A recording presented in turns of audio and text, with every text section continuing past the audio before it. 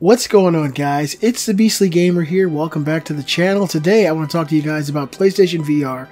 Probably the thing I'm most excited about this entire year has been PlayStation VR. It's something that I've played, something that I've seen and experienced, and I can tell you unequivocally that it is a game changer, literally. There's really nothing like it. Uh, I've heard some people say that the, the love or the desire to play games in VR is dying down. It's only been ramping up for me uh, up until the release of PlayStation VR. So I'm really excited. At Tokyo Game Show, Sony did show something new with PlayStation VR, a new way to integrate it into your everyday life that I thought was really, really cool. And I wanted to talk to you guys about it now. I'll drop a link in the description. Sony brings your phone into PlayStation VR with Anywhere VR. Sony is set to bring your smartphone into VR for the first time with PlayStation VR, offering you supreme relaxation. Really. The company's music division, Sony Music Entertainment, today announced a new relaxation app for its upcoming headset during Tokyo Game Show 2016 press conference named Anywhere VR. The experience impressively projects your phone's display inside an immersive environment, allowing you to check messages and apps without having to remove PlayStation VR. A brief trailer revealed the project on stage, showing a woman getting home from work, putting on her PSVR unit, and finding herself in a picturesque environment with relaxing background music. She then grabs her phone in the real world, which brings up the display in the virtual environment that mirrors her device. According to the trailer, users will be able to talk to friends, use apps like Twitter, and play mini games inside the piece.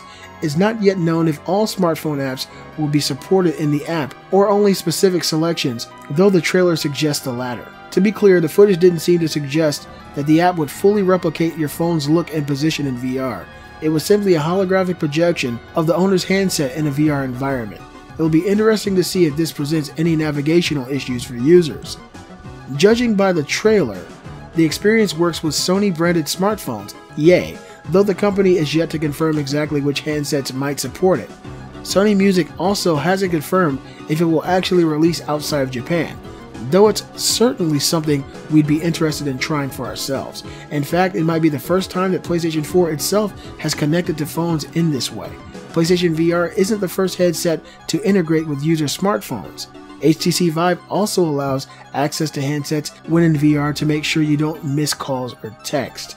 Anywhere VR doesn't have a release date just yet, though PlayStation VR is set to launch around the world on October 13th. This is something I could definitely get into because I do have the Sony Xperia phone. Uh, I love the whole idea of VR.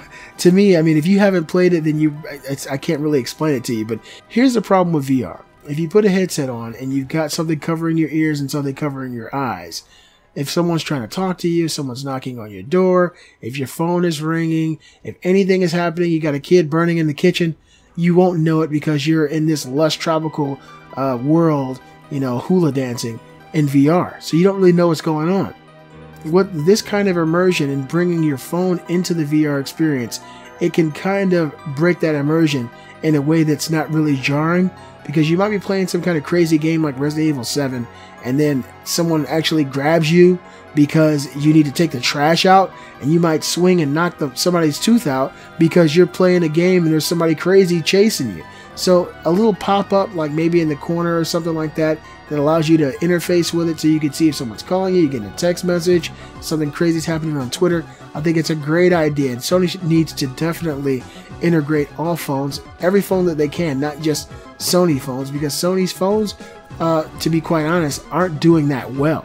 You know, they make great phones, the cameras are amazing, but they don't sell like HTC phones, they don't sell like Apple phones, they sell like Sony products. And I'm talking about TVs and computers. They're not the best out there, but they're pretty damn good when it comes to what they're good at. Uh, I think this whole idea is good. I think Sony is moving in the right direction.